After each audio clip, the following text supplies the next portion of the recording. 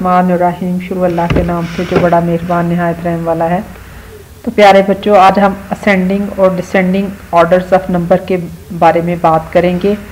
Ascending order को तरतीब Saudi कहते हैं और डिसेंडिंग ऑर्डर ऑफ़ नंबर्स को तरतीब नजूली कहते हैं। जैसे 11 से 18 हम ऊपर सीढ़ियाँ चढ़ते जाएँगे स्मॉलेस्ट नंबर से बिगेस्ट नंबर तक जाएँगे तो ये असेंडिंग ऑर्डर होगा। हम असेंडिंग ऑर्डर में स्मॉलेस्ट नंबर से सबसे छोटे नंबर से सबसे बड़े नंबर तक जाते हैं और डिसेंडिंग ऑर्डर में हम सबसे बड़े नंबर से सबसे छोटे नंबर की तरफ़ आते हैं। स्मॉलेस्ट वैल्यू कहते हैं सबसे छोटी कदर को और बिगेस्ट वैल्यू सबसे बड़ी कदर को। जैसे 11 से 18 तक जाना।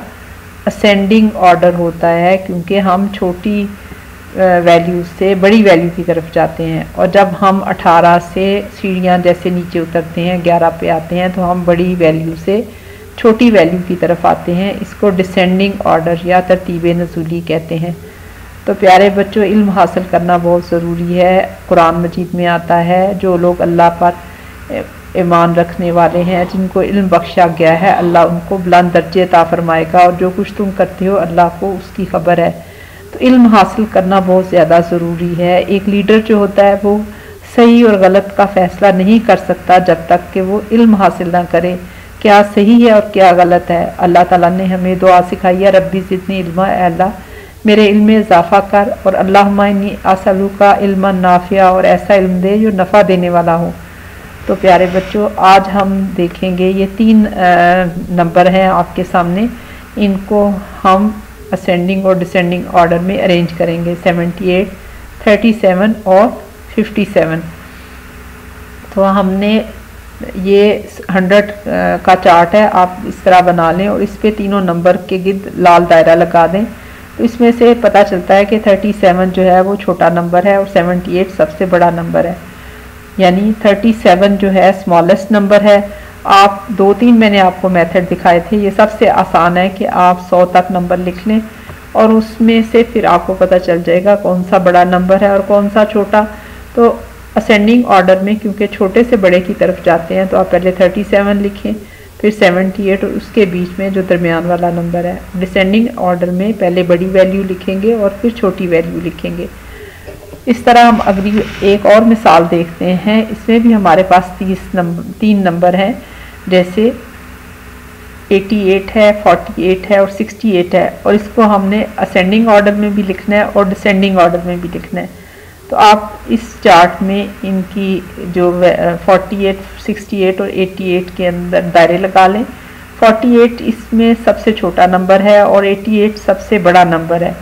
तो सबसे पहले असेंडिंग ऑर्डर में आप स्मॉलेस्ट नंबर को लिखते हैं तो आप अपनी कॉपी में 48 लिखें, उसके बाद आप सबसे बड़ा नंबर लिखें और सबसे बड़ा नंबर जो है वो 88 है और उसके बाद बीच में 48 आ जाएगा 68 आ जाएगा तो असेंडिंग ऑर्डर जो है वो इस तरह बनेगा 48 at the smallest 88 the biggest और बीच में 68 और डिसेंडिंग ऑर्डर में सबसे पहले आप बिगेस्ट लिखेंगे, फिर स्मॉलेस्ट और दरमियान में 68 तो अब हम आगे नेक्स्ट प्रॉब्लम की तरफ़ आते हैं।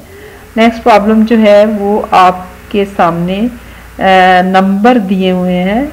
तरतीब में आपने ये देख के आगे लिखना है कि असेंडिंग ऑर्डर है या डिसेंडिंग ऑर्डर है।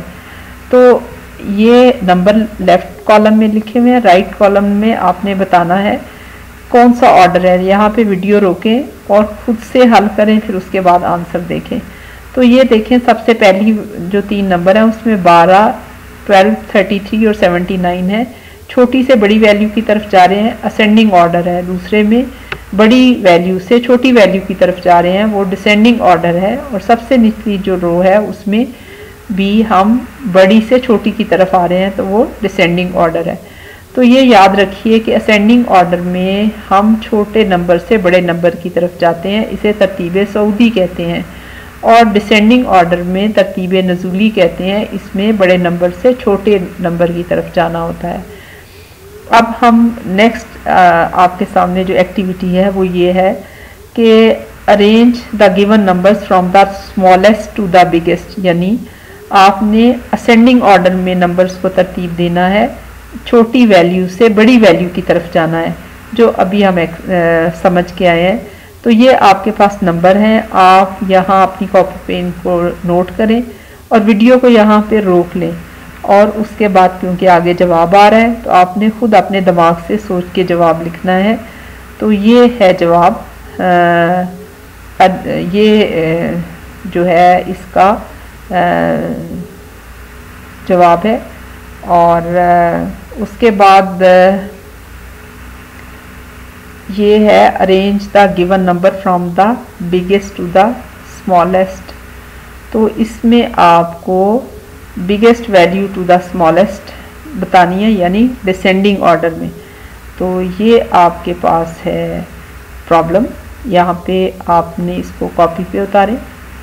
अपने पास सारे नंबर्स लिखे वीडियो को को यहाँ पे रोके और उसके बाद फिर आप इसमें से अपना जवाब चेक करें। तो प्यारे बच्चों, उम्मीद है कि आप सच्चे बनेंगे, आप कुरान भी पढ़ेंगे, हदीस भी पढ़ेंगे, अच्छे अखलाक भी अपनाएँगे, साफ़ सुथरे भी रहेंगे।